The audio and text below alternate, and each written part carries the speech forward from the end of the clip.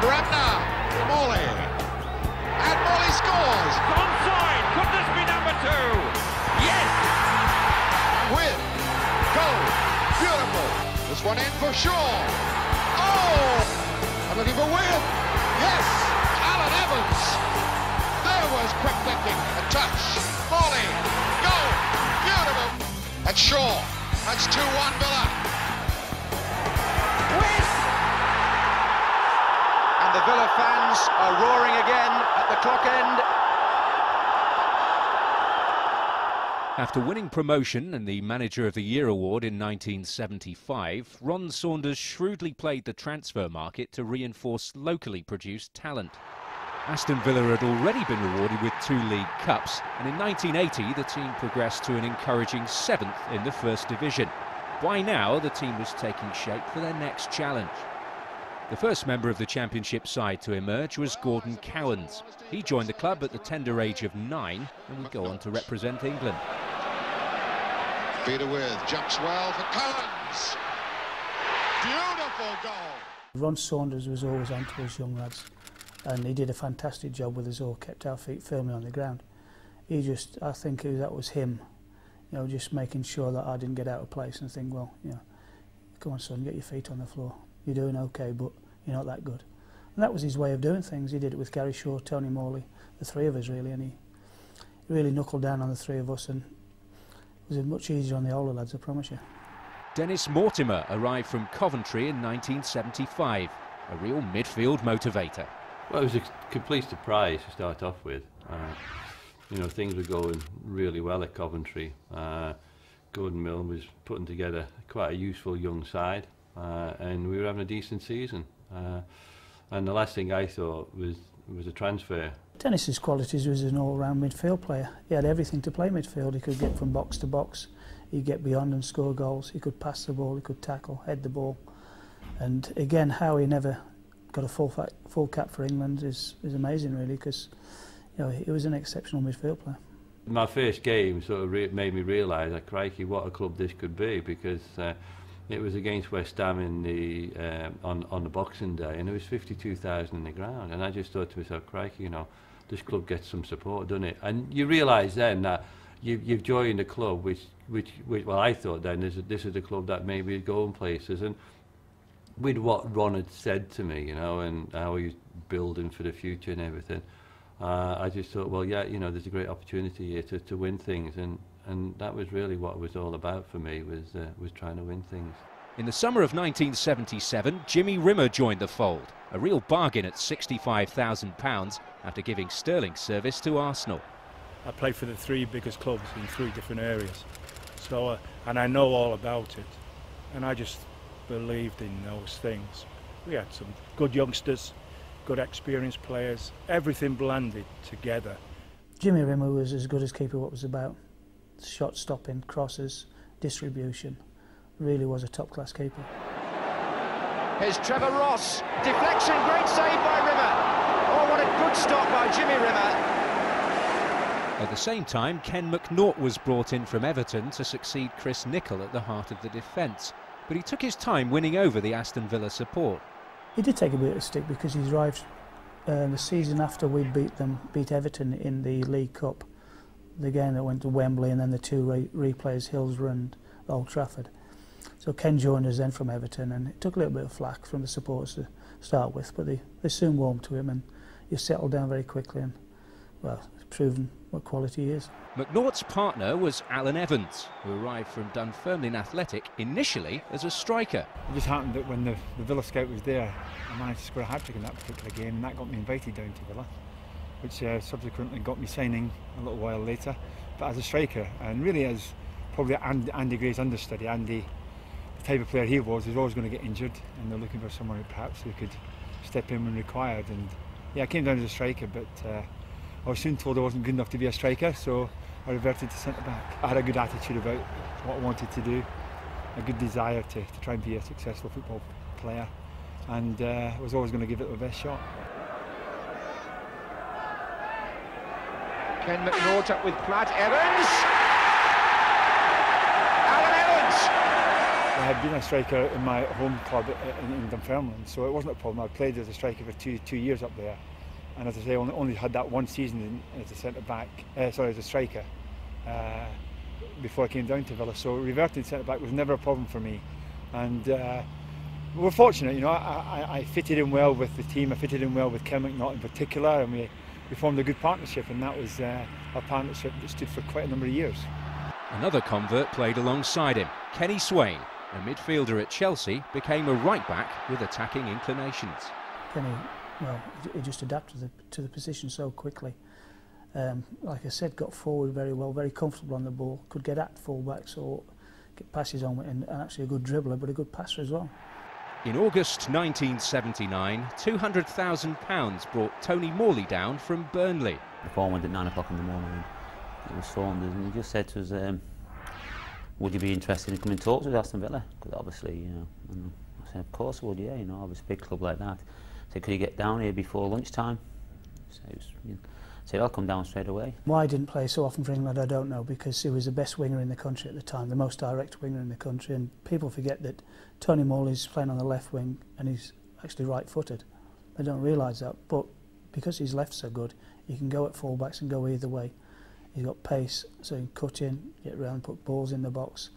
And he did what he did, scored fantastic goals. And the amount of times that he just step up and be a match winner for us in big games, you know, was endless really. And probably the most exciting winger about at the time and certainly the most exciting winger I've played with. A month later, Des Bremner arrived from Hibernian, where he gained international recognition with Scotland. Normally, that you come down in your early 20s uh, and I was actually just uh, turned 27 when I came down to Aston Villa. And obviously, playing in Scotland, your dream was always to come down and uh, play at the top level down in England. Kenny Swain would be bombing forward that much, Des would be back before Swainey. And he was that sort of player. He was really a, a player that you don't realise how what his worth is if you're a supporter. I think as a player, you recognise his strengths, and he, he really was awesome for the side. I think I was just one of those sort of players that uh, had a lot of energy for the games you know, and uh, enjoyed it. Winger come striker David Geddes came in less than 18 months after helping Ipswich Town win the FA Cup. Now he'd be out to hurt the Suffolk side's ambitions. Geddes this is, and he's ready to count!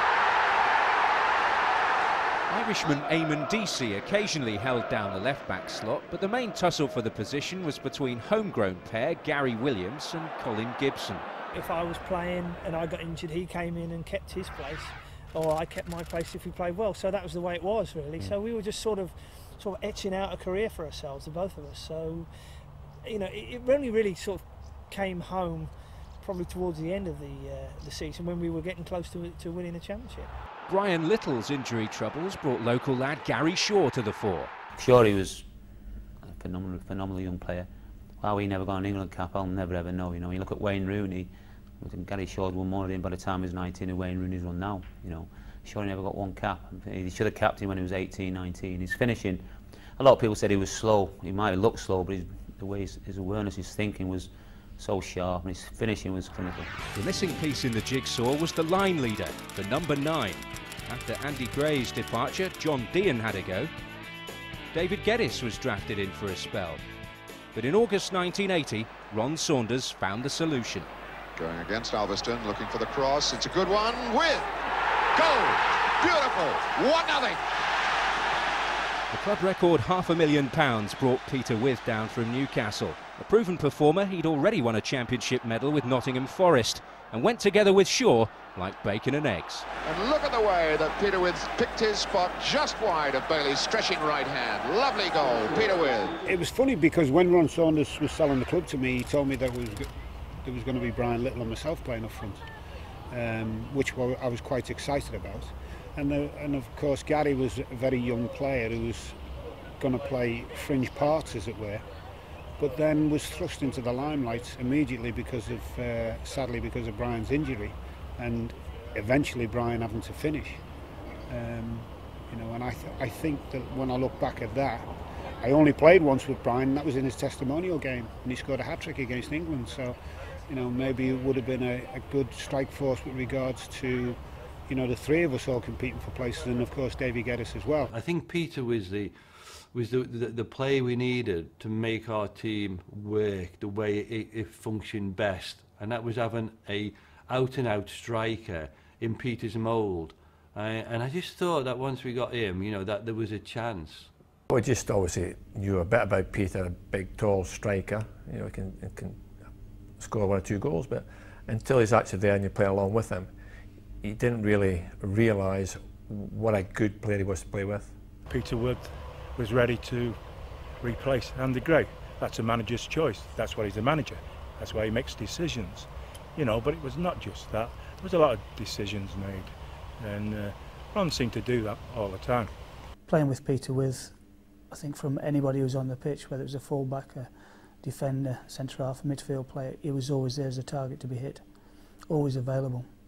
And an absolute dream to play with because he, could hold the ball up. You could know if he could in trouble, you could put it behind, he'd chase things down. And Gary Shaw fed off him very well. Withe to Shaw. That'll do. Gary Shaw breaks the deadlock. Shaw he was a very intelligent player and um, never reached the heights he should have reached because through injuries rather. But um, hadn't he got injured, I think Gary Shaw would have been gone on for play for England many, many times. An absolute genius. Centre halves, they knew were in a game when they played against Peter. Uh, but not only that, he, during that season he built up a great partnership with Gary Shaw. Who I'm sure Gary will, will, will say that himself, that, that Peter helped him bring on him a lot. But, but Gary had a great skill himself for scoring goals. You know, they had a good understanding of, of playing together and, uh, and one worked off the other. And obviously Peter scored his fair share of goals as well. Gary Shaw, Withe, and Villa take the lead. Gary Shaw had a great football brain, great awareness in around the box. He just knew where things were going to drop and his finishing, his technique of his finishing, his hold-up play, his little balls around the corner into Peter Withe and little movements, clever, things you can't coach. Gary really was a young up-and-coming uh, striker, um, scored some spectacular goals, and we formed this partnership, which was basically a very lethal partnership. If you looked at that time was uh, Steve Archibald and Garth Crooks, and then you looked at ourselves scoring the goals as we did. Um, you know, and when you looked at, I scored 21 and he scored 19 goals, was a tremendous achievement, and also for him because of being the age that he was.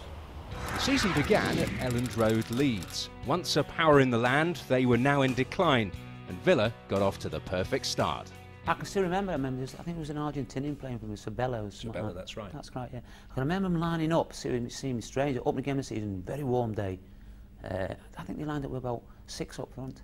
I thought, what's happening here? Like, they're going to go for it, like, you know what I mean? I think, no, they ain't going to go for it in the, you know, in the you know, Premiership or, or First Division is. But they did, they went for it for like for five, ten minutes. They absolutely just kept throwing balls. But we just, we were well organised by then. We were, as a team, we were very, very well organised. So we soaked all the pressure up and I think I scored the first goal. I don't know, I can't remember where it came from, but in the end, we, we, we ended up quite comfortable winners then, you know. So it was a great start, really. Flynn taking the free kick. And for Curtis, who screens it so well. Flynn, and it was DC coming in who sent Flynn down. And put away by Byron Stevenson. So a marvellous start for Leeds United. Here's Morley. And the goal is given. Tony Morley, a bolt from the blue. Well, they seem to have closed him down, but he struck the shot so crisply. Remler just touching it away, and Hart's out of position now. And here goes Morley. He's lost Stevenson again. And now Mortimer. Lukic really committing himself and with, and Shaw makes it. Well, you sensed it was coming. The first home game of the campaign against Norwich was won by a single goal from Gary Shaw. His partner in crime, Peter Withe, opened his account at Maine Road in a 2-2 draw with Manchester City. A third win in four league games came in the first Midlands derby of the season against Coventry, Gary Shaw grabbing the headlines once again. So a promising start, Villa ending the month in third place, with Ipswich Town leading the way from a Kevin Keegan-inspired Southampton. But September was to provide something of a reality check. First up, they faced league leaders Ipswich at Portman Road. Bobby Robson's team were expected to push hard on all fronts, and the game set what was to become a familiar but frustrating pattern. We lost the game 1-0, but to me, I think it was possibly our best performance of the season because we, we just played them off the park and we didn't get the rewards for it. But, you know, it, it, it once again, you know, we, we, we saw what we were capable of. We played against a team that was going to be there or thereabouts at the end of the season as well. Uh, they had a lot of international players. In fact, I think every player in their side was an international player, as against us. I don't think we had one full international in the side. We lost at Everton um, at Villa Park. We, Everton beat us and we were flying at that time. But that worked as a springboard for us. We went on and won the next three or four games comfortably. Aston Villa needed just three minutes to plunder the wide open spaces in Wolves' defence. Tony Morley, the player making ground, and his cross come shot going in off Emlyn Hughes. But Villa had cause to question their own defence in the second half. A cross from the left allowed to carry all the way to the welcoming Mel Eves to make it 1-1. Villa's winning goal came from this free kick. David Geddes getting free of the markers. Another setback was to come in the League Cup as Villa crashed out to second division Cambridge. Steve Spriggs and Tom Finney with the goals for the East Anglians. Yeah, it was one of those games, a shock happens, and it? we probably gone out there think it's going to be easy small ground, they're up for it. We'll show these, and we deservedly we got beat. Uh, maybe that was a blessing in disguise, you know. But I don't, the, I don't think the management was very happy at the time. Like because obviously it's revenue for the club coming through all the time, you know. Unfortunately, that's the way it is. Then it was revenue for the club that you got knocked early on. There's less money come through the gates, you know. So they weren't very happy. But we didn't perform well that night at all, like you know. Uh, and it just, you know, at the end of the day, we got beat. We couldn't do nothing about. it. We held around the better team on in the night. After that hiccup, a virus-ridden team responded perfectly, beating Crystal Palace 1-0 the following Saturday. The remedy for the team's ills? A few tots of brandy in the dressing room. I think the brandy flask was always passed around, um, always in the dressing room prior to matches. Ron Saunders always put a bottle of brandy on the table in the dressing room. From the first man going out to last one, it was about half a bottle gone. Like, it was like, yeah, that was his. That was his way. He just believed in that. Get it, get it down. You know, like some someone used to drink it and spit it outside, like they hated the stuff. But it's just his way of getting uh, of getting people going. Like you know. This was the senior players, the older players, by the way. Mm. to be honest, none of us young lads did, but the, some of the senior players had a fair few swigs and get themselves a bit of confidence before going out there. There's quite a few, quite a few shots gone. Believe me, like I think the dressing was like a brewery. Like before, we, that's before we went out. You know, so it was. That's the way it was then, you know. The match of the day cameras came to Villa Park at the start of October, and the team proved there was no hangover. Sunderland, unbeaten away from home so far, were like lambs to the slaughter. Mortimer, that's a nice ball. Oh! That's a magnificent goal by Alan Evans. Mortimer on the ball. Cowans. Oh, and Morley's shot! Bremner Withe waiting in the middle. Cowans. Oh, that was superbly done. Shaw. Oh dear, he didn't really hit it through, but it went in all right.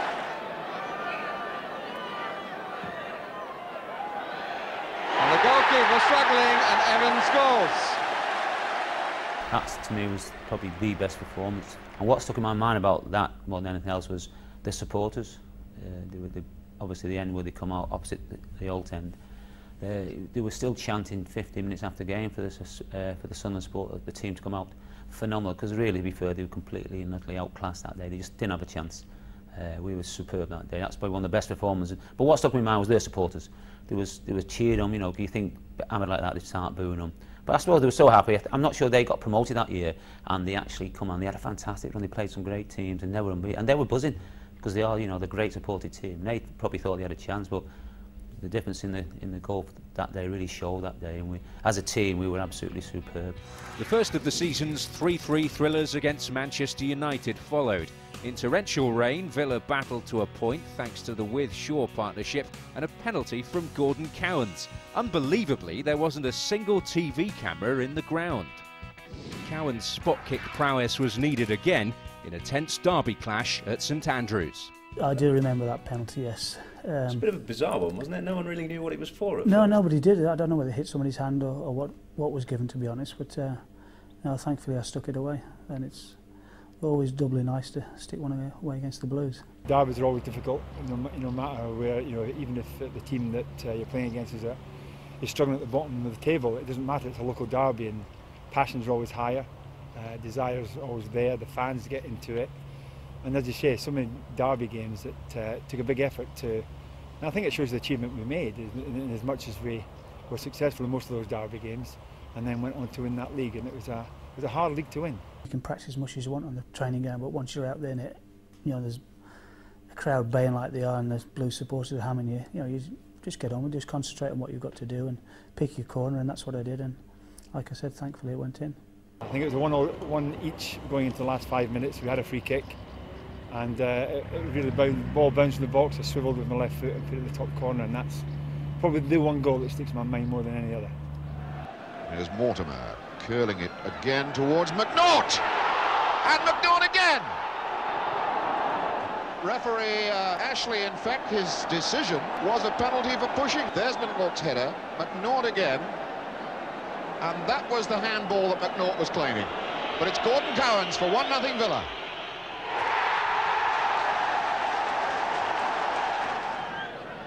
It's a good-looking ball in for Dennis. The cross for Ainscough penalty. And that's where the penalty is given there. Frank Worthington for 1-1.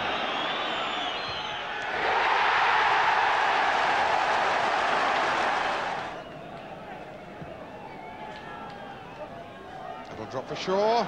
Oh, well, it's a fine goal from Alan Evans. Quick thinking by this fine defensive player who can play up front as well.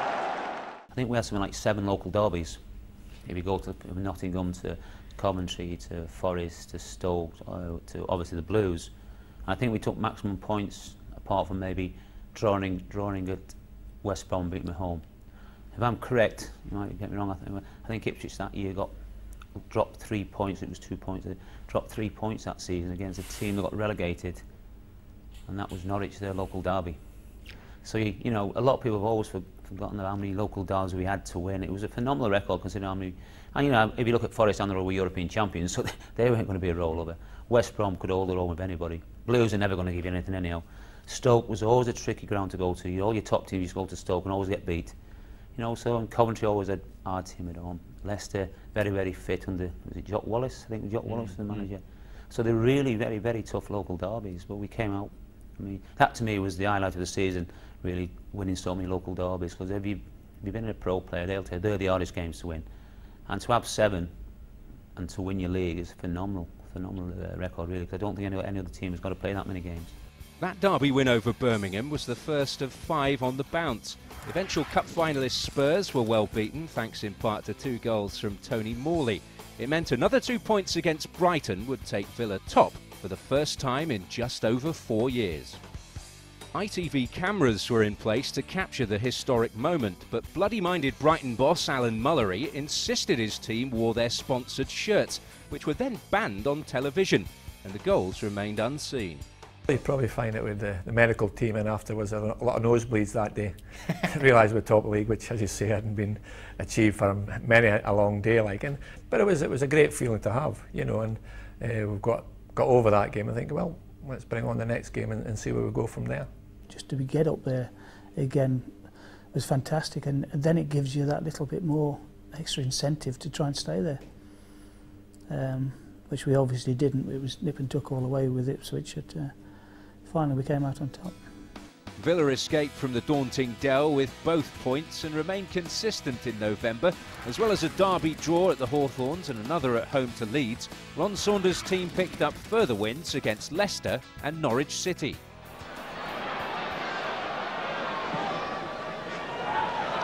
Withe Derby Shaw. That'll do. Gary Shaw breaks the deadlock. McNaught. Peter Withe jumps well for Cowans. Beautiful goal. Oh, what a cracker. Villa had a shock after 25 minutes when Graham Paddon put Norwich ahead. Norwich could have scored more, but after 60 minutes, Villa started their comeback through Gary Shaw after good work on the right by Peter Withe.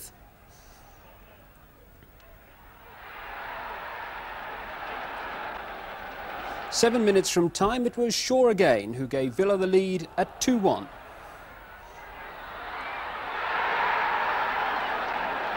Two minutes later, it was that man Shaw yet again setting up the third goal for Peter Withe. The final score, Norwich 1, Aston Villa 3. The unbeaten run ended at Anfield as a Kenny Dalglish double gave Liverpool both points, although the Reds would eventually slip out of the title race. Arsenal would feature heavily later on in the Villa story. Under Terry Neill, they possess title potential, unbeaten at home and strong away, as they proved when they came to Villa Park. Now it's Bremner, Morley on this touchline wanting it. Bremner's heading in that direction. Again, he has to attack two. The ball in low for Shaw. A touch. Morley. Goal. Beautiful goal. Constructed by Morley and completed by Morley. One nothing. Aston Villa. Just about 12 minutes gone. Chip forward and Mortimer running well. Oh, he hit the bar. Well, that was a tremendous moment. Wonderful run by Mortimer. Superb run by Mortimer. Deserved better than clipping the bar. Well, the goal scored by Morley has put uh, Villa right on their toes. Referee Midgley allowing for the conditions and also playing advantage. Intelligent bit of refereeing. Sunderland. And that's a beautiful goal for Talbot. 1-1. Arsenal right back in the game. The North Bank travelling supporters from Highbury enjoyed that. It's Sunderland who makes the positive mood in and Talbot, little flick, and Rimmer flying through the air is beaten. So, still top of the table at the end of November. At that stage, Liverpool and media darlings Ipswich Town were Villa's main challengers. The defeat at Ayresome Park saw them slip from the summit. Hodgson attacking down the left flank now. Trying his luck there. Alan Evans has followed him over. Still with Hodgson. Cochrane. It's there. Craig Johnston's got it. Had to be Johnston. Johnston was waiting there in the middle as Cochrane got the header to it, and Johnston finished off. So what can Aston Villa produce now? Mortimer. Shaw through the middle. And it's there, Gary Shaw's done it again. He really is a goal machine. Good positive run through the middle by Mortimer, but there was Gary Shaw all on his own, acres of space. He kept cool and Jim Platt had no chance. And as the snow comes down, Gary Shaw scores his 12th league goal of the season to make it Middlesbrough 1, Aston Villa 1. Bailey with the throw. Bailey again. Good turn. Shearer, he scored!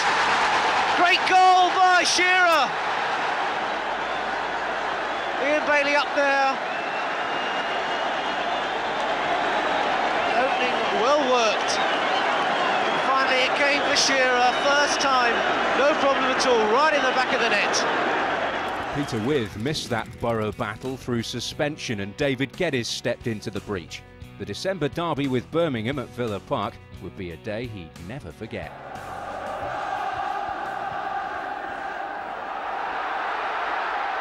Shaw and Hawker, Geddes this is, and he's made it count!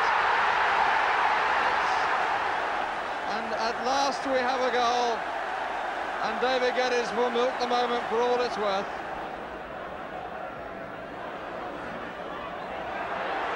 suddenly, oh, and finally Shaw puts it in. And as the ball came back, Gary Shaw was on the spot.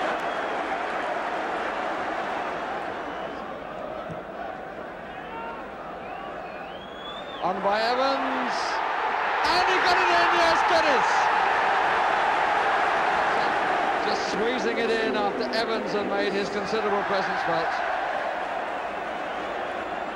It was something I wasn't uh, really aware of until probably possibly sometime last year, a couple of years ago maybe, that somebody actually mentioned the fact that the fact that we had harder games to play in than Ipswich, due to the fact we had all those derby games in around the Midlands at the time, we had Stokes, Leicester, Derby, Coventry, West Brom, Birmingham.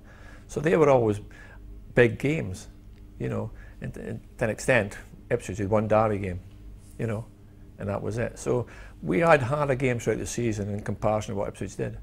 Uh, but as I say, Birmingham was always a big game at that time. You know, it's uh, it's a game that for the fans as much as anything else, but obviously for ourselves at that time because we are doing so well in the league, it was important to to, to, to beat them both times. As sweet as another win over the Blues always was, more importantly, Villa were back on top of the table, leading Liverpool by a point going into a frenetic Christmas period. Defeat at Brighton allowed Liverpool to leapfrog them again, but a recalled Peter Withe clinched a Boxing Day win over Stoke that saw them level on points once more. Keeper Peter Fox managed to keep Gary Shaw's header out, but the big Scouser made no mistake.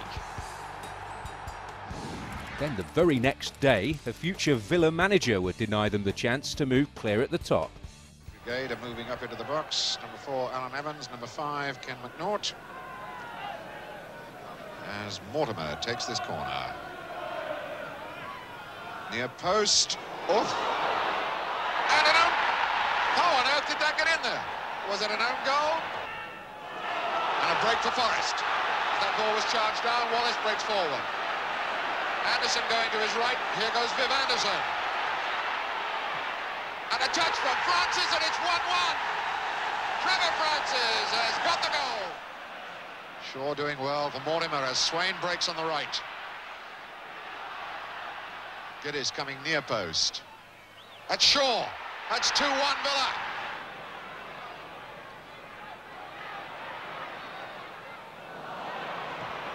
And it drops down for O'Neill. And he scores. It's 2-2. People moan about playing too many games these days, but it, it's your profession. It's what you went into and it's what you should be enjoying. And we just loved to play football and it didn't matter, just get up and get on with it. So Villa would enter 1981 at the summit of the First Division, but Liverpool and Ipswich, who had games in hand, were a little too close for comfort. When you're leading, you, you've got that incentive to want to stay there, but equally, when you go behind, it gives you that more hunger to try and, right, we need to get back there, we want to win this. And, and that was typical of what Ron Saunders has instilled in the squad, really. He wanted winners, he wanted people who worked hard, he wanted people who were brave, and that's what he had. And you know, we, we dug in and finally got there. The fact that we're involved in, in both cup competitions and had so many games, you know, as it said, it told in the end because it, the many games to, to, to catch up with it as far as the league performance was concerned. And, and I suppose you could say overall, you know, it was just too much for them. And just the fact we were too good. The start to the new year couldn't have been more daunting. Another fruitless trip to Ipswich in the FA Cup. Ipswich were well on top in the early stages of the match. Alan Brazil working an opening here, but his shot was blocked. The breakthrough came on 12 minutes. Dutchman Frans Thijssen's weaving run igniting the move, and Mühren's glorious pass out to John Wark. His little flick on to Alan Brazil, who worked his way past Alan Evans. Mariner was there to score the only goal of the match. John Wark could have added to the account, but for the heroics of Jimmy Rimmer. But while Villa played well and caused Ipswich a few problems, in the end, they just couldn't beat Paul Cooper between the sticks.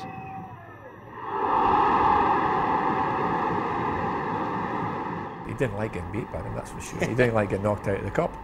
You know, it was one of these things that's, you know, you want to get, be involved in going and try and win the league, but it's always a, a dream for a player to try and get involved in it and go as far as you can in the cup and get the final and, and, and hopefully win the cup final. You know, that's a great occasion uh, to be involved in the cup final at Wembley and, and go on to win it.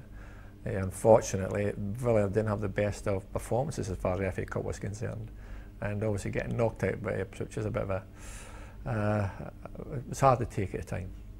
Out of the frying pan into the fire. The top two would meet at Villa Park in what proved to be one of the most memorable matches of the season. I just remember Tony turning Richard Money inside out. Morley again. Oh, he beat Money too easily. Gary Shaw. Withe. And Villa take the lead.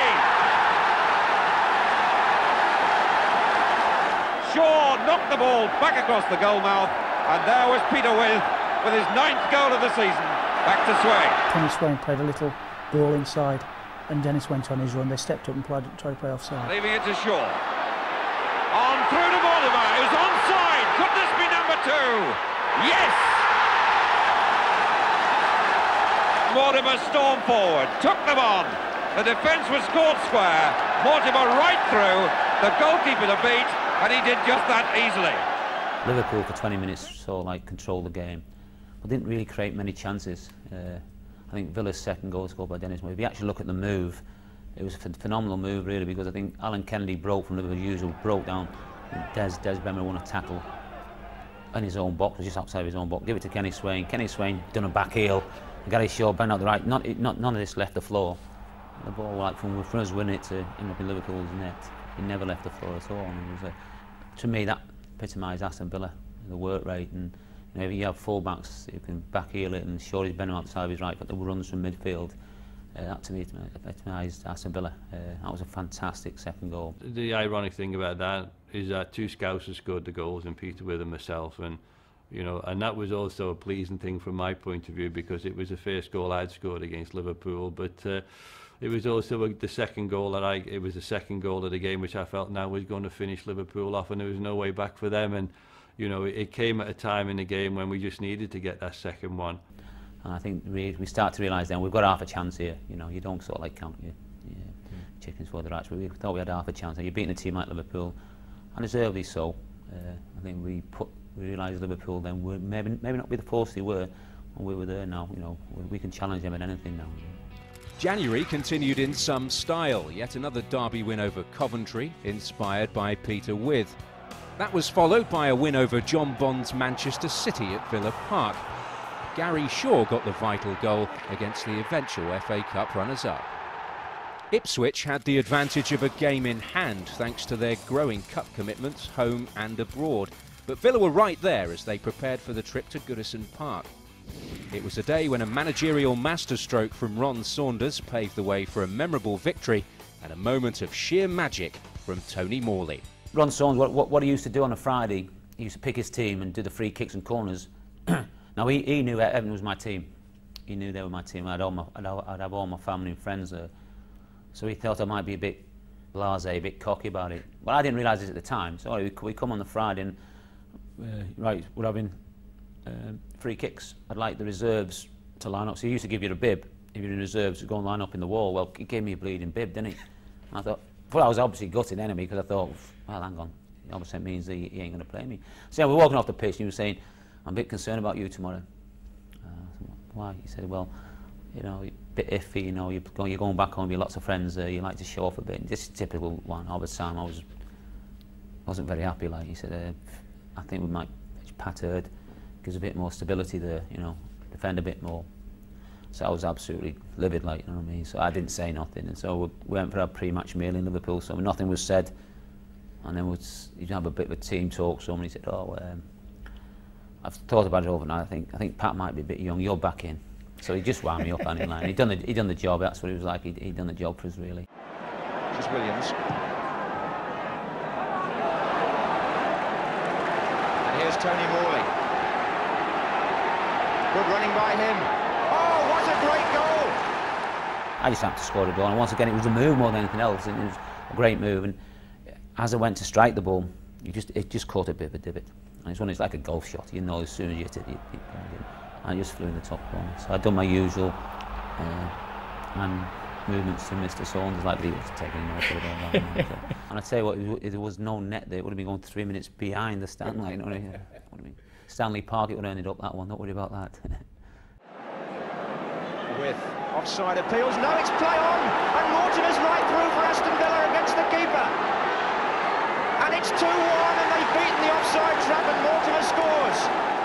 Sure, he chased a long ball down, which didn't always do sure, right into his feet, but he chased the ball over the top down and Mick Lyons pulled him back. Shaw thought he was impeded and claims a penalty and given. Lyons and the goalkeeper got into a terrible mix-up. And I stuck it away, I think that made it 3-1. And does. Well, listen to these Villa supporters. You'd think you were at Villa Park. Whenever you went to Goodison, it's a tight little pitch and you know, they're in your face, putting pressure on all over the place. It's a good place to go and play, but not easy. That win at Goodison Park made it four consecutive victories, and the fifth followed against Crystal Palace at Villa Park. Villa were once again in front early. Tony Morley's cross headed home by Peter Withe after just four minutes. It was his 12th goal of the season. They strengthened their grip in the 70th minute, Terry Boyle's misjudgment falling perfectly for Withe's second. But a minute later, Vince free kick prodded home by Paul Hinshelwood to ensure a nervous end. The title race was certainly hotting up. At the end of February, Peter Withe returned to his old club in some style. Very early on for Morley. John McCall comes across to him, plays the ball off Morley. Now, in fact, uh, it was McCall's last touch. Corner. Morley placing the ball. Cowans over there with him. Evans going up, giving the touch, but with Will! And Peter Withe has put Villa in front 1 0. Corner coming in from Morley. It wasn't cleared properly, and Peter Withe's head bangs the ball into the net. Peter Withe picks up a goal which could be so very, very vital at the end of this season. Everyone says after about 10 games, he said, oh, they'll get knocked off the perch, you know. And we kept winning and kept winning. And the more we kept winning, the harder it got for everyone else, and we were getting closer to the championship. And Villa was exactly the same, you know, we just kept winning and winning. Even without the guidance of Ron Saunders, Villa could win. Laid low with flu, he missed the trip to Roker Park. We went up on the Friday afternoon, I remember that, and put in a good performance on a, another windy day up there. 2-1, Alan Evans header, Dennis Mortimer second, yeah. Tony Barton and Roy McLaren took over that day, yeah. And we went out with a good attitude and good performance. Villa, who've only lost away from home four times this season, one of course being on their last trip to the northeast at Middlesbrough. There's Peter Withe keeping it going out wide for Morley. Gordon Cowans making an overlap, but Morley coming inside instead. And has that one crept in? It has from Alan Evans. And Siddall was left struggling then. Peter Withe working hard there, kept the move going for Aston Villa. Picked up by Morley, had an option outside him, but he came inside. And a long, deep, probing ball that seemed to give the Sunderland defence a bit of problem in the wind. But there was Alan Evans to knock the ball away from Barry Siddall and put Villa one up.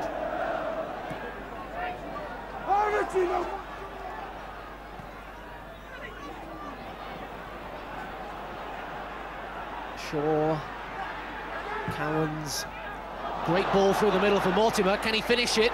He certainly can, with no problems at all. 2-0 Villa, Dennis Mortimer the scorer.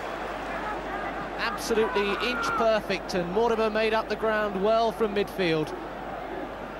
Now that's 2-0 to Aston Villa. Great ball through, though, from Gordon Cowans. Arnott, Ritchie, good header, but Rimmer was there, perfectly positioned.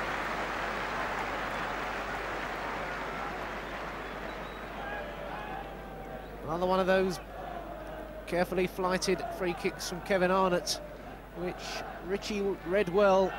Nice flicked header, but Rimmer in no real trouble. Arnott.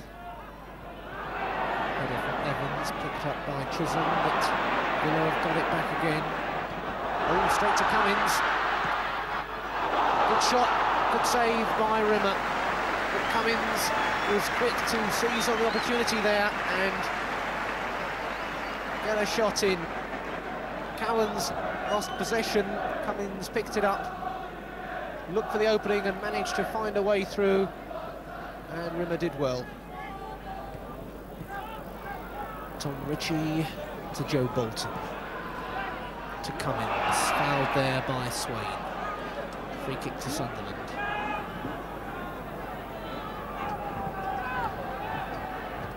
Quickly taken. This is Arnott. Hinnigan's come up there. He scored! Joe Hinnigan's first goal for Sunderland pulls them back into this game. The quickly taken free kick and the perfect delivery again from Kevin Arnott. Joe Hinnigan made up an awful lot of ground and his header was accurate.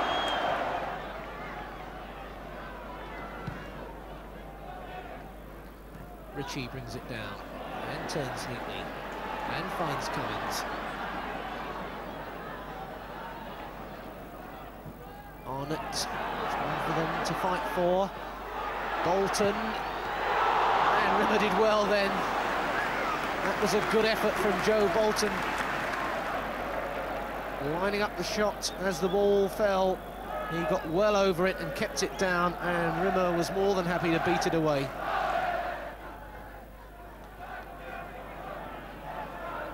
Shaw. Mortimer, oh, he's away now. Now he could really settle it here. Dennis Mortimer, he's past Siddall. No, he's not. That's a fine saving challenge on Mortimer by Siddall. He did superbly then when Mortimer seemed to have the chance to settle the game once and for all. Manchester United were up next at Villa Park. Stand by for another thriller.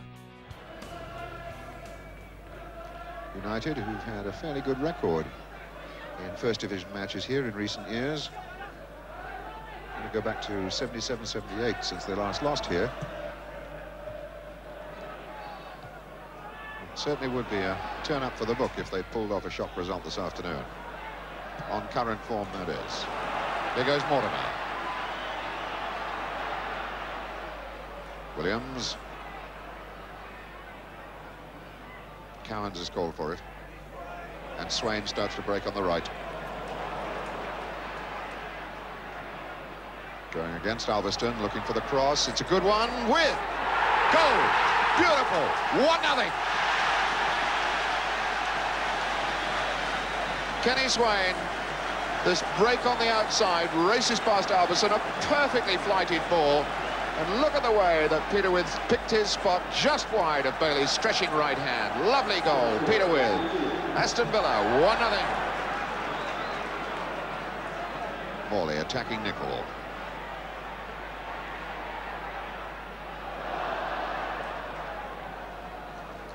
Corner given. Morley was expecting a free kick.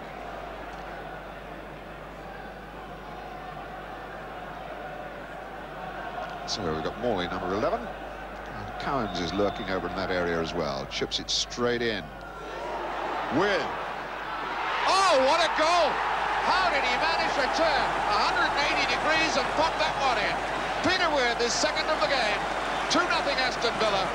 And it's all down to the big fella. They didn't get the ball clear, but look at the turn he gets there. Manchester United, six consecutive away defeats. Going to be lucky if they get anything out of this game now. Aston Villa very much in the boss seat. That's Albiston. Fouled. Free kick.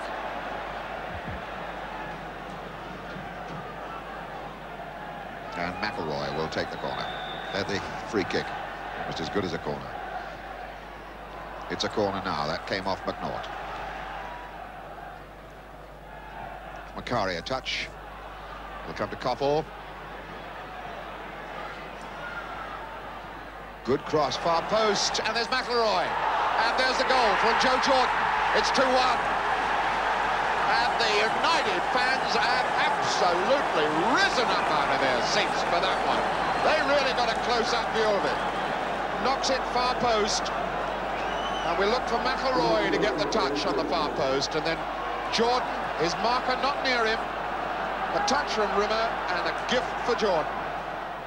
It's Dave Sexton over in the left of the group as we look at United manager.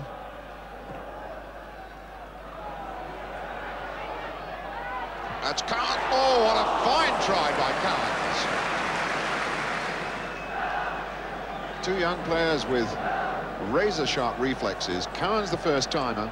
Bailey really went across to claw that out of the air. Back to Coppell.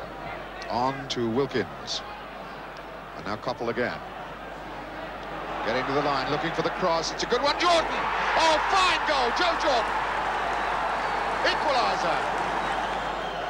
Little jink to the line. Look at the power of Joe Jordan as he came in on this one. Bang! 2-2. And Villa come again through Mortimer. This one in for Shaw. Oh, and that just hung in the air. 3-2, Gary Shaw puts Villa in front. And that tantalisingly hung away from Bailey. There's Shaw, and it seemed to hang there, and Bailey just couldn't make it. Jordan helps that on. McNaught heads clear. That'll drop down to Coppell. And Birtles gives United fresh hope. Touchdown to Coppell. And again, Coppell trying to get there. And he's pointed to the penalty spot, has referee Reeves. And United have the chance to draw level. He goes in there. And it's here that Williams is adjudged to have fouled him. McIlroy. 3-3 it is. Well, that's unbelievable. Without any goals at all for so long. And now they scored three. There's the third one from Sammy McIlroy. I don't think we've ever seen a game with Villa play Man United where it's been it's been boring really, not, not, not at all. They're always open games and I think you had full-backs who attacked on both sides, you had midfield players who were very creative, uh, you know, and you had people who could score goals, you know. So it was always going to be always going to be entertaining games. Plus when you play like Liverpool, Man United, Arsenal, the atmosphere at the ground is always buzzing and you know it's big the big games and you can feel that that you know the, the vibes going round it helps you know it gets you going you know it's uh, you feel on, on on edge all the time you want to do well and probably that's part of the magic of playing these big teams all the time you know I'm playing at Villa Park because let's believe when Villa Park's full it's one of these stadiums to play it's fantastic This time the cameras couldn't miss another classic, but that McIlroy equaliser proved costly. Villa unbeaten in 10, but still off the top of the table after Ipswich trounced Tottenham in a fiery encounter at Portman Road. Sadly for Villa, Spurs put up more of a fight at White Hart Lane.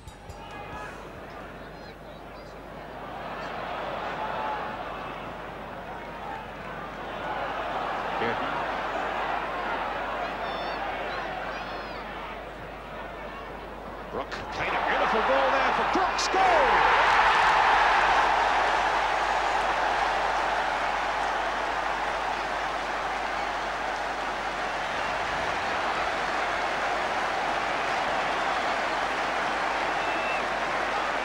Well, that was a beautiful bit of shooting by Crooks. But above everything else, it was a superb ball played here by Gary Brooke. That's the ball there. Played first time, inch perfect, onto the left foot and past Rimmer and Spurs ahead.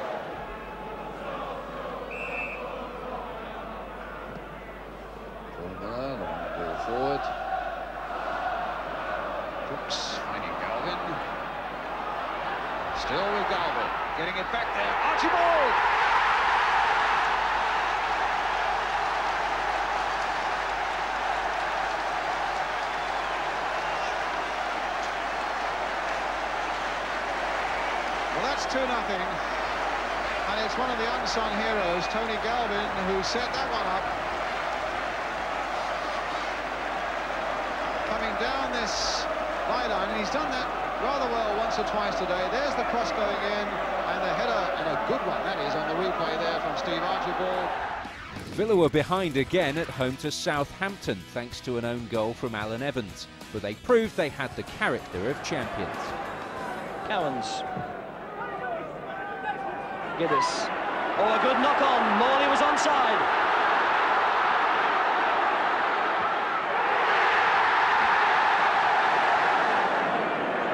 Steve Williams. And Villa now fighting for everything. This is Williams, who's put Geddis away, surely. Ipswich was still on top with a game in hand until a visit to the Hawthorns ended in defeat. And a red Des Bremner goal helped seal a 4-2 Villa win at Leicester and a change in the lead. I just remember the ball had got, got put up the pitch towards Peter and he was competing with the centre half at the time. I thought, well, he's going to get a flick on in this.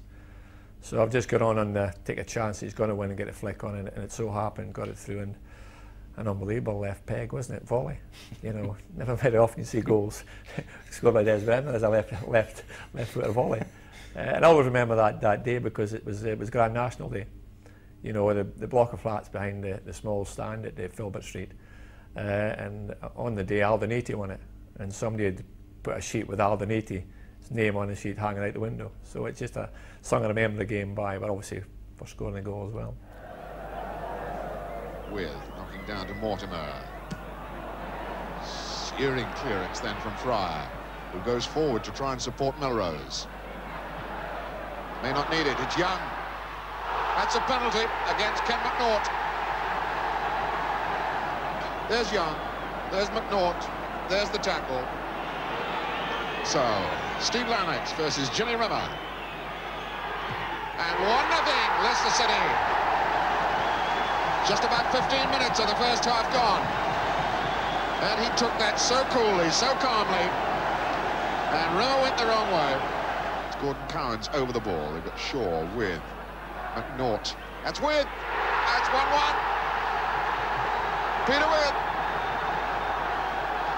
He creeps closer to his best ever record season. And that looked so easy, didn't it?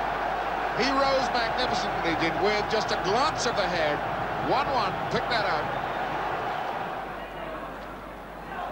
Here comes Bremner, he's beaten him for Melrose. Wilson goes on, chased by Cowans, the two number 10s. Early ball in, Young! Maybe took that too casually. Maybe thought that a little flick was all that was needed. But in fact, he had time. See the amount of space that uh, Young has there. He left his marker. Touch on from Withe. May down, and Bremner's in there. And Bremner makes it 2-1 to Aston Villa. Des Bremner, and that will have brightened Des Bremner's day. He came in on that, and he was so sure of himself, and he buries the ball beautifully. 2-1 Aston Villa. Drew Cox header forward. Off. And it was Bremner and Evans who got each other's way, and now it's Young. Cowans says, come on, get it. And is it going in? Lynex has put it in and it counts. It's 2-2. A tale of errors there. First, it was Bremner and uh, Evans getting in each other's way, and now here it was Cowans. And Swain comes in late.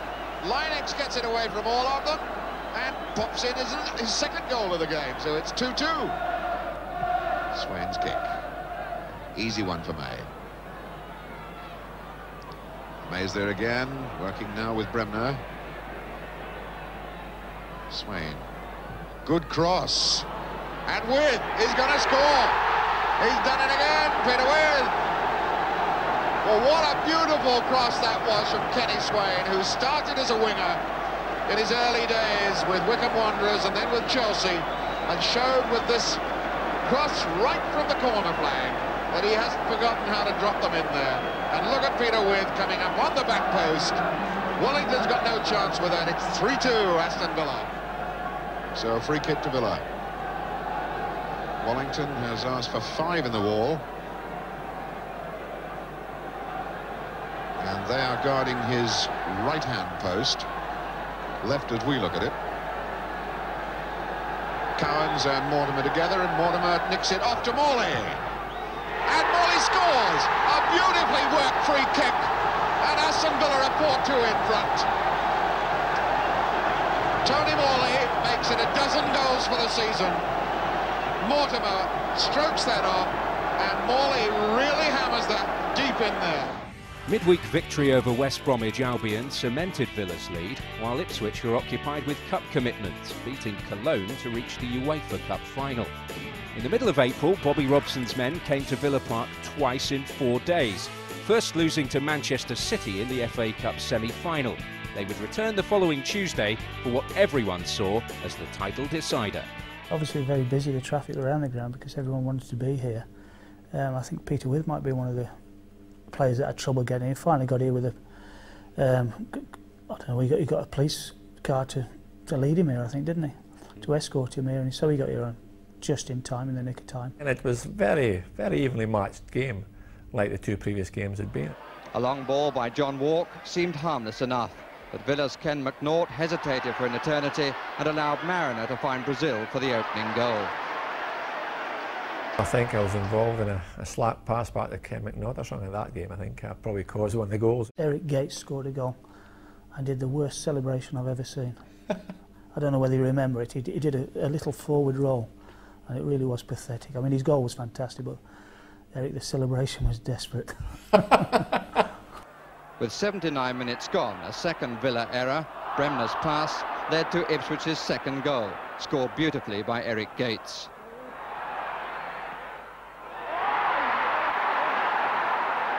A fantastic goal, really, a great strike from probably about 20, 25 yards out, top corner. You know, you, you can't legislate for those sort of shots and those goals. Villa's reply was almost immediate. The chest down from Peter Withe and the shot from Gary Shaw. But marvellous goal though it was, Shaw's 19th of the season was Villa's only happy memory of a night which belonged to Ipswich. That defeat really shook us up. We were really upset about it. Um, did stir us up, but if, if you look back, I remember the manager doing, Ron Saunders doing an interview after the game. Although we've only got four uh, games left and they've got five games left, that's a long way to go yet at this stage of the season. So it's uh, all for play for still? I think so. Do you want to bet against us? No one would ever bet against Ron on that situation, you know, because uh, he knew better than them. That was how much he backed us. And he, he came in after the game into the dressing room and said, listen, lads, we're still going to win this. You have to believe that. And tried to instill that belief into us again and that desire to keep going, and he did. Walking off the pitch and I heard them cheering, blah, blah, blah. And I remember Saunders at the top of the tunnel saying, you won't be cheering at the end of the season. See, some, some of that remark, he actually said something like that. He said, they're all cheering, and he was saying, oh, it's it. And he, was, he, he shouted some in defiance against them. You know, we were disappointed, again, not to at least get a point from the game. Uh, but I always remember at the end of the game, coming up, up the tunnel, that the Ipswich lads were full of it, like, you know, and, and I think Mick Mills, uh, as an example, says, well, that's it, we're going to win the league now, kind of still. You know, so you're thinking.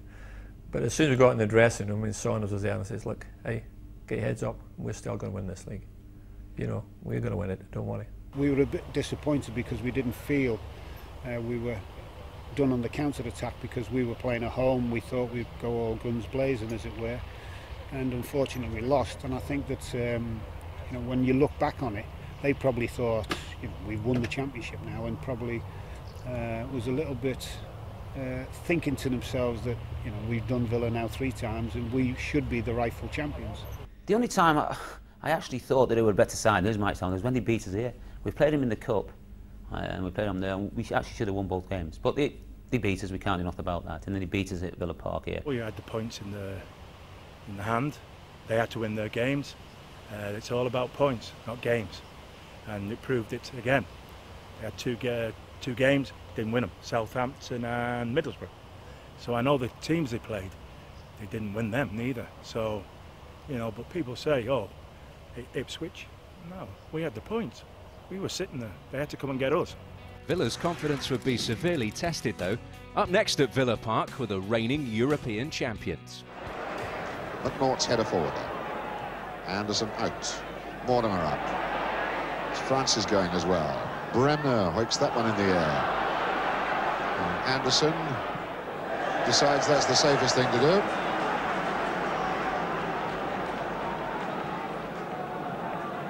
Anderson getting quite a workout from Tony Morley. Shaw with Orse at his back. And it's Morley again against Anderson. That's a nice looking... Oh, that was a push, yes, a penalty. Robertson on Bremner.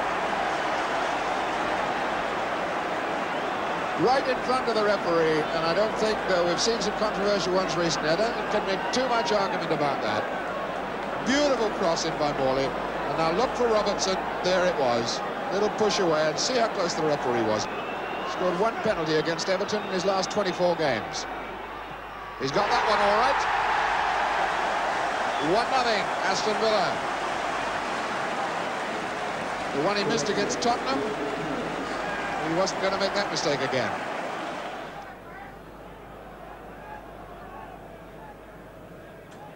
And Ors.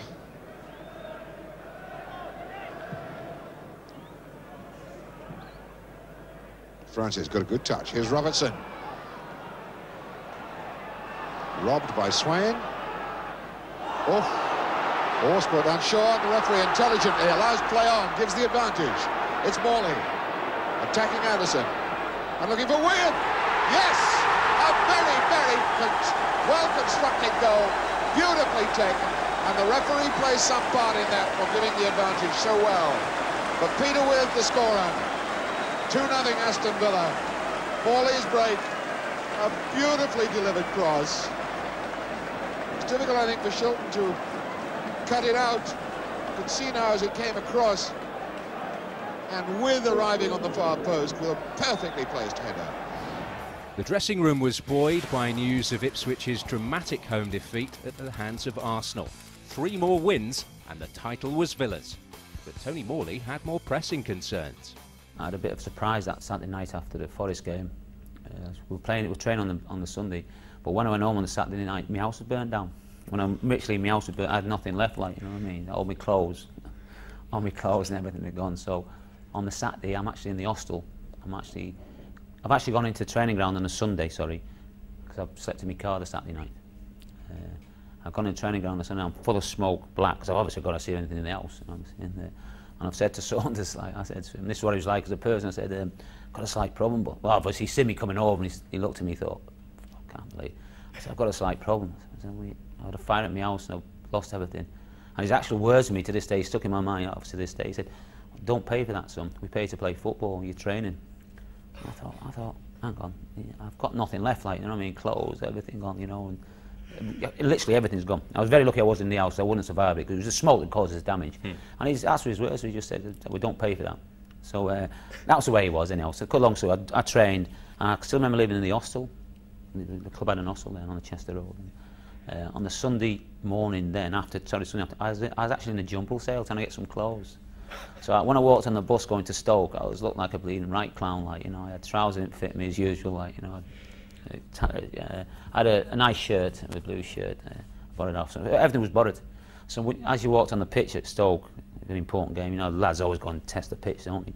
So I'm going on there testing the pitch, and I had these trousers, all like with pockets in the front, with they were too big for me. They were girlfriends' fathers, and I had braces on. So when I was trying to pull them down, so they couldn't see me because they're up here, the braces kept flying up. Braces and all, Morley helped inspire Villa to a draw at Stoke on Easter Monday, but Ipswich lost the same day to bitter rivals Norwich. So it was possible Villa could win the league at home to Middlesbrough the following Saturday. But surprisingly, there was a little trepidation. People have spoke about Middlesbrough being our bogey side and Peter Withe came up with some rubbish in the dressing room before the match. He said, listen lads, every time I've played these I've always beat them. And I always scored against Middlesbrough.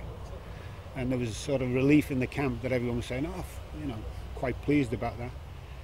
And he totally made it up. The following day when we went out, and we really, I mean, it, it, was, it was covered on television. I remember the commentator saying, um, which was John Motson saying they can't get out of their half, and they couldn't. They literally, every time they won the ball, we won it back, and we just kept peppering them, peppering them.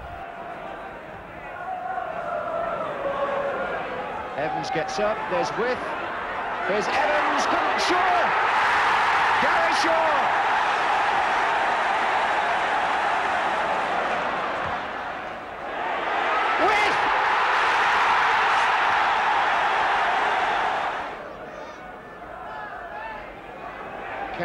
Ken McNaught up with Platt, Evans! Alan Evans! And of course, it was a bit of a psychological thing by, yours truly because it wasn't true that I hadn't lost against them and I hadn't bit, uh, scored a goal against them all the time. It was a funny game because it was a, a situation where we perhaps I think we could have won the league that day, and during the game there was rumours flying around. I think from behind Jimmy Rimmer's goal that uh, we were 2 0 up at the time, and we heard rumours that uh, Ipswich were getting beaten, that we'd won the league. And those rumours started to fly even during the game. We were we were trying to concentrate on the game, but those rumours were flying around. I had to play against like Cochrane, who was a, a tricky right winger, uh, and they had a few good players at Middlesbrough, and they were one of these teams who could beat anybody. As in the end, they did. They beat Ipswich um, for, to give us the league. And we, we, we absolutely demolished them, play, beat them 3 0, and that was a fantastic team performance and really showed me that you know what, what sort of side we were. They weren't a bad side, and we just took them by the scruff of the neck and uh, dispatched them. With a bit of a celebration going around saying we thought we'd won it, and the crowd were going mad. Unfortunately, it was premature. I mean, Saunders dragged us all in and said, look, you know, we haven't, you know, they've got a result. It's going to go on the last game.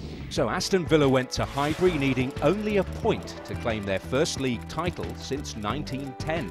I don't know how if it's just need a draw I win. I think it's just a fact it's it's a one game. It, it could earn you the title. There's so much after the games you've played for the whole of the season. It's gone down to that one game. So obviously there was a lot of tension coming up to the last game at Arsenal.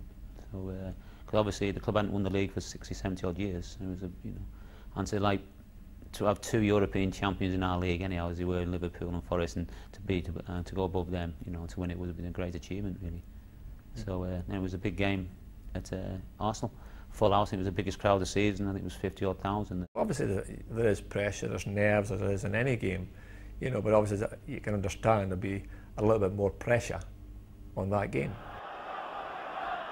so Sansom takes on by Sunderland John Hollins and McDermott's in there young Willie Young! Jennings coming very confidently. What authority he's got. Hooked out there for McDermott to chase against Swain. And this is McDermott for Arsenal. He's got two to beat now. There's the first one. And he shoots in! What a fine goal by Brian McDermott! I think it was the worst game I've ever had for Villa at my old club Arsenal when we lost 2-0. Well, I had a nightmare. I honestly did. I think I can remember that one because it was the last game of the season and uh, championship was run. But uh, like Ron says, remember all the good games before that. We really didn't perform that day at all. I, I, I don't think it was anything to do with the, the, the occasion got to. We just didn't perform as a team. We're, we're so so proud of the way we played that year that on that particular game we let ourselves down. I don't think anybody could really hold their hands up and say they'd done well that game. You know, it was just Arsenal was a bit of a bogey side to us at the time. You know, but at the end of the day, you know, it was, it was a strange situation really because five minutes before the end, the crowd were going absolutely crazy, so it was unreal. The fans themselves, you know, their emotions that were spilling out at that Arsenal game uh, on the terraces, obviously, you know, just before our game finished, we could tell that there was something going on. And I, I think, uh, you know, their, their, their emotions must have been going up and down all the way through that day. We thought, well, you know, something was happening at, at, uh, at Middlesbrough with Ipswich, and it can only be the fact that, that Middlesbrough scored. So obviously news gets to the, the players on the pitch, like, you know. And the Villa fans are roaring again at the clock end. And Middlesbrough must have scored again to take the lead against Ipswich. And if they have, that's the championship for Villa. We made sure we got it uh, substantiated from other from different sources. So it was coming from all corners of the ground, so we're fairly confident that was the case. The final whistle went, this, the crowd just came on. And the referee's blown and they're going for the dressing room. Aston Villa beaten here 2-0. Doesn't matter. They are the champions for the first time since 1910. The fact that fans come charging on the pitch, it told its own story, you know, and, and that, that to the players was just, uh, I mean, it's such a great achievement, you know. Uh, we were in the dressing room rejoicing and having a few drinks and that sort of thing, and it was, it was just great memories. Getting beaten 2-0 at, at, at Highbury was a little bit uh, sweet and sour. It was very sweet because we heard that um, Middlesbrough were beating Ipswich, so we knew we'd won the league at the end. But being the, the being the team that we were and the, the discipline that was being instilled in us by Ron Saunders, we weren't happy with our performance at all. Although we won the league that day, it took probably an hour or so for things to sink in. It was a little bit of a deflated dressing room initially because of our, our pride in our performance, I think. The emotions after the game, I think, were, I, I would imagine for most of the lads, were relief that it was all over uh, and now we could celebrate what had been a long, hard season. I think if we hadn't won the league that day, we would have got one hell of a rollicking. But um, I don't think I think the champagne came out pretty quick. So uh, that was that was one of the good things about that game. But uh, I wouldn't like to think that uh, a performance like that would be uh, repeated many times. Did you spare a thought for Bosko Jankovic, the Middlesbrough player who got a couple of goals against Ipswich? he was a hero of the day, wasn't he? You know, uh, I don't think we spare a thought too much of a thought for Arsenal. Obviously, you, you shook the hands and everything else going off the pitch, and uh, I say it, it, that just it was a great end to a great season for us. But it was such a relief, and you know, to this day, like I said, Tony McAndrew keeps reminding me that it was Middlesbrough that won the league for us. Uh, we didn't win it; they won it for us. And, um, a fantastic performance to turn it around as they did. I mean, because we did re really make them look a poor side here, but to them for them to beat Ipswich was a, a great performance. Well, great achievement for us anyway. It's incredible, really. I mean, you look like two, three before when Ipswich beat at home, and they were all cheering going up, going up the tunnel. How things can change in football, you know, it's, you know, it's phenomenal. Uh, and it, it, I don't think it really sank in, really, maybe till probably the week into the, you know, after we won the league. I mean, because it was, even though we'd won the league, it was still a bit of an anticlimax. We would love, would, we would love to win it at Villa Park, and to win it, it would be fantastic. Like, but we didn't really do ourselves justice against Arsenal. Well, that may be only one or two games in that season that we can say we, we didn't really perform. But at the end of the day, it didn't really matter about the result. Ipswich got beat, and we, we won the league. So, as we all say, we got more points than them, and that's all that mattered at the end of this. We were league champions. For the first time in 71 years, the title was Aston Villa's. And with room to spare, Ipswich got bogged down in their European challenge, and Ron Saunders' team ruthlessly took advantage. Absolutely fantastic. It was just jam-packed. There was people on rooftops, dance along doing the conga, and well, it was, it was absolutely fantastic. and we were still in a quite a state from the, the, the night before, well, and the, the drinking on the morning as well. So, absolutely great times. I just felt myself that I was privileged to be captain. Uh, being captain also was one of the things I felt that if we did win the trophy, I'd get the be the first to get my hands on the trophy as it was then. It's totally changed now. You know, captain gets his hands on the trophy. When everybody else had gone through, but he's still the first to get his hands on a trophy. But you know, in those days, it was you, you get the trophy, and uh, and and and to me, you know, as I said earlier, being being a footballer, you know, what, my big ambition was to win things, and uh, you couldn't get anything bigger than that really domestically. When you actually sit down a few days later and think of what you've achieved, it's, it's massive because it's been a long time since the club had done that. Uh, it was 42 hard games to, to play in and, and, and, and, and win overall. You're judged over the whole season, all the games you play in a season. You know, it's all league games, isn't it? At the end of the day, they play the same amount of games as we did, and we finished in top. I do class football, you know, and it's just like any normal job, really, except that you know you you're out there in front of the public, but you're doing a job, you know, and it's a job that you love in, you love doing, uh, and so but you need to have a good, happy workforce to be able to make it happen, and, and that comes through results. It comes through you know winning, and winning games and confidence was was everything. It's a great year. Obviously, gone on and done better the next year and winning the European Cup, but to win that league championship was wonderful and uh, uh, you know it sticks in my mind, it sticks in all the players' mind and I'm sure it sticks in all the Aston Villa fans' mind. Football has completely changed now. I think, uh, like I've said to you before, we, um, I, I, we went to the studio the other week and people said, well, how would that Villa side compare with? I said, well, we, we won't have a chance because the squad's out big. But I, I explained to people, I said, well, look at it this way: take your any team at Chelsea, Man United, Liverpool, take their best 16 players, 17 players, and play them over two seasons in mud and playing against European champions over two seasons. Could they achieve what we achieved? I very, very much doubt so. Unless you can match those top four, and we're talking about Arsenal, Liverpool, Man United and Chelsea, with the way they spend, I think it's always going to be tough. I think to win the championship is going, is going to be tough. To maybe get one of those qualifications for Europe, especially the Champions League, maybe there's a chance of that. But to win the title, you know, you've got to have one hell of a squad. I think it was more open in our days. Now it isn't. As I say, there's not many teams. Um, I think Villa will be up there in time, but not ready yet. And then there's Manchester United and Chelsea, Arsenal, Liverpool. And all the papers when I'm home in Canada, uh, that's all they talk about. And uh, but I think Villa will be up there in time. You've got to give Martin, you know, time to build what he wants to win. He he did it at Celtic. Why can't he do it at Villa? We're proud of what we achieved. I would love, I would absolutely dearly love to see Aston Villa achieve something like that again. It might take some time, but in uh, in Martin O'Neill and John Robertson and, and uh, the rest of his staff and players, I hope that uh, they can they can bring around something like that. I spent well over 10 years at Aston Villa Football Club in capacity as player and in capacity in, in one way or the other in the coaching side, director of youth, all that sort of thing. And um, built up an affinity, as I said, when we'd done the reception at, uh, down at the town hall. You know, we, we, we had quite a lot of Liverpool people in the team, scouts in the team, and we were sort of, we felt that we were adopted Brummies, as it were. And of course, although I live in Australia now, I still come back because I've got family here, and I still come to, you know, to Birmingham. All right, I go and visit my parents in Liverpool, but most of the time I spend, you know, here in Birmingham. So you've become a Brummie. I haven't got the accent though.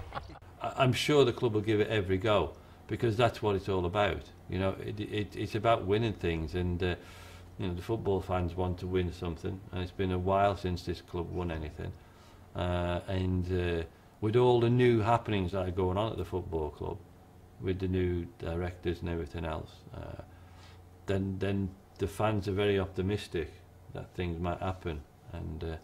But uh, the only place it really does happen is out on a football field, and and uh, that's a tough call. So what can Aston Villa produce now? And Bremner to Morley. And Morley scores. Onside. Could this be number two? Yes. With goal. Beautiful. This one in for Shaw. Oh! I'm looking for Wynn. Yes. Alan Evans. There quick thinking. A touch. Morley. Goal. Beautiful. And Shaw. That's 2-1 Villa.